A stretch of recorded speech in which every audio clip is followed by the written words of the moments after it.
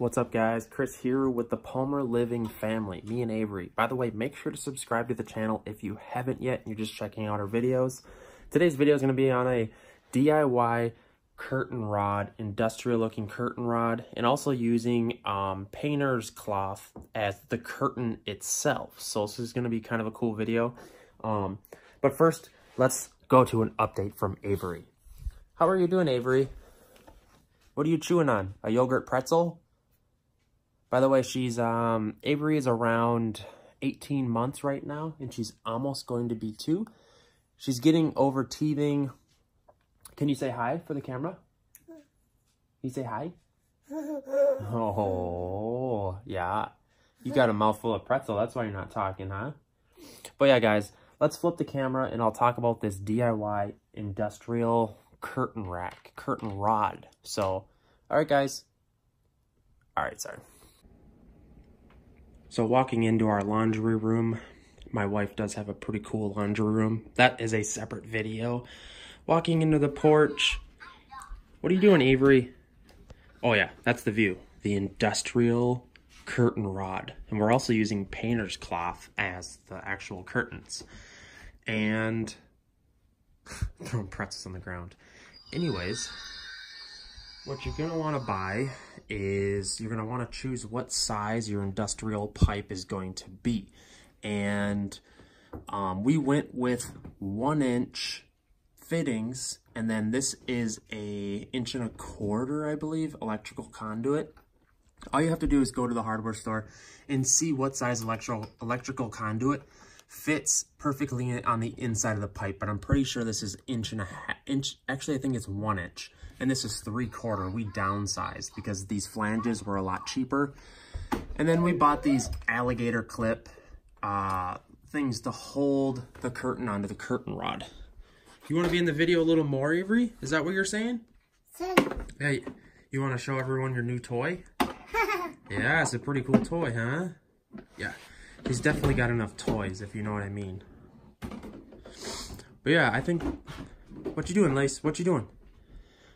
I think our house is coming together pretty nicely. Uh, my wife is doing pretty good on the, I guess you'd call it her laundry room. She wants me to put a board at the top there. But yeah, the DIY curtain rod. It is, it. I would call it like an industrial curtain rod per se. And what we did was we bought the little clips that hold the curtain on Amazon. I'll throw a link to that in the description box. It works perfectly and we just had to make sure that the pipe fit over the rings, essentially. I think they're like 20 bucks for a huge bag of clips because what we're doing is wrapping the curtains the entire way around our porch. It's going to wrap the entire way and have different sections. By the way, I'm painting the ceiling over here. Just installed this heater. I did do a video on that. If you guys are also wondering, you can check out my other videos. This is a great three season porch heater, four season porch. but yeah, everything's good guys. Just updating you on the family living. It is almost winter time and everyone's kind of just been chilling out on the benches I built. There's a video yet to come on that. So pretty excited. Um, this porch is looking pretty cool. Besides the, the blue carpet, my wife is really hating on the blue carpet. And to be honest, I'm getting kind of sick of having all the baby stuff everywhere. So it's like, does your house have to be a daycare, even if you have one child? Or is our one daughter overly, what's the word? Um, why can't I think of the word? when you when you give your child too many things, overstimulated, she's spoiled. Yes, overly spoiled is the word I'm thinking of. What do you think, Avery? Are you are you spoiled? She has toys everywhere. Everywhere. Let's ask Grandma if you have too many toys. She raised three kids 106 years ago. Maybe Grandma will know. Alright guys, that basically sums up our... This this will be a series of videos because there's a lot more to come on actually constructing the curtains that go here as well. So hopefully this helps you. This is actually just the beginning for us too. God, this lighting, the camera doesn't want to focus.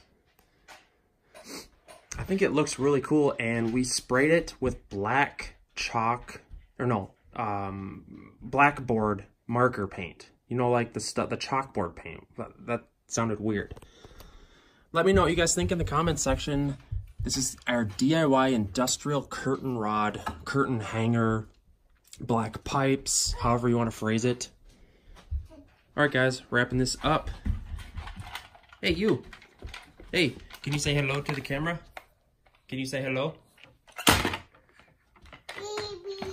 Baby. BB. Baby. Yeah. Boo boo. Yeah. Okay, can you say goodbye, Avery? Bye bye. Bye-bye. Okay, and we're out.